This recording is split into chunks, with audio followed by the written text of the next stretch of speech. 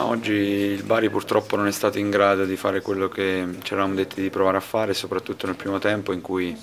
gli avversari hanno fatto sicuramente molto meglio di noi e il punteggio l'ha testimoniato perché siamo andati all'intervallo sotto di due gol. Nella ripresa abbiamo provato a fare qualcosa di diverso, abbiamo accorciato le distanze, avevamo creato i presupposti anche per provare a, a rimettere in piedi una partita in parte compromessa con una prima frazione brutta da parte nostra e poi il terzo gol ci ha definitivamente tagliato le gambe e ha consegnato i tre punti a una squadra che sicuramente oggi l'ha meritato di più di noi. La squadra non è stata in grado di fare quello che avremmo dovuto fare ed è un peccato grande, mi auguro che possa essere un bel insegnamento per il futuro. Diventa difficile mm, avere un rendimento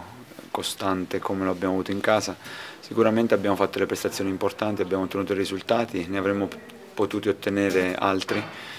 e, ehm, però credo che l'atteggiamento della squadra è sempre stato un atteggiamento propositivo e,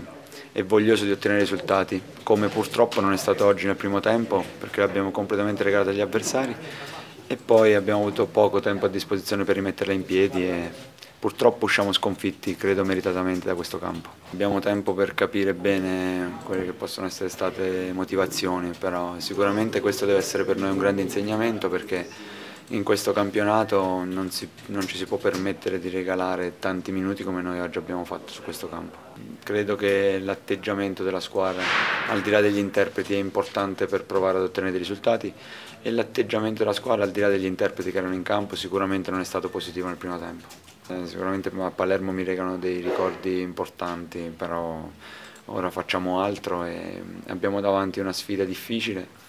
da preparare nel modo giusto e da riuscire a svolgere sicuramente in maniera diversa da come abbiamo svolto questo primo tempo, provando a fare quello che abitualmente sappiamo fare.